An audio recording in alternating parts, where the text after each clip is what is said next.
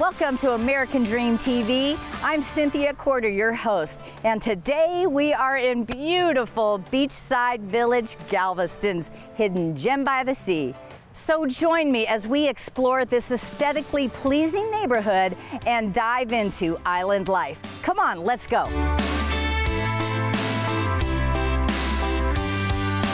When you walk through here, you get a sense of just a peaceful, serene coastal vibe. Its 19th century coastal Galveston heritage flows throughout.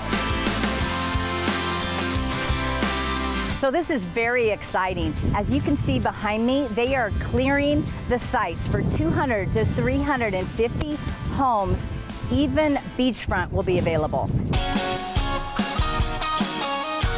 Today, we are going to meet with a dynamic duo, husband and wife team, Ray and Judith Malone.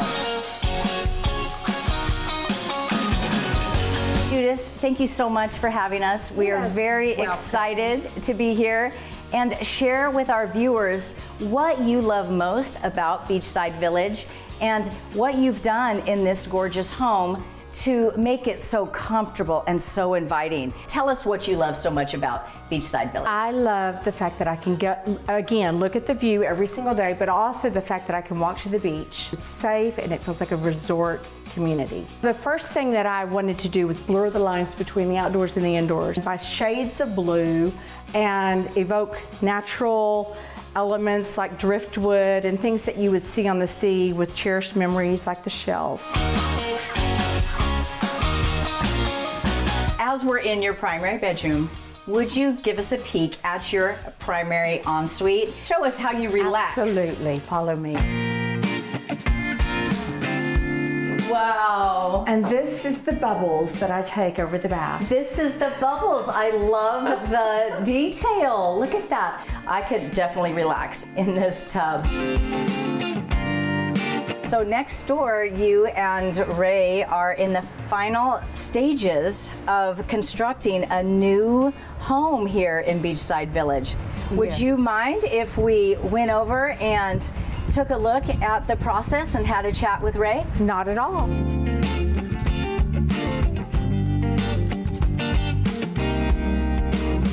Ray Malone with Malone Construction. He is a well-known builder on the island and you are willing to show us through your amazing home that you're working on. And Excited.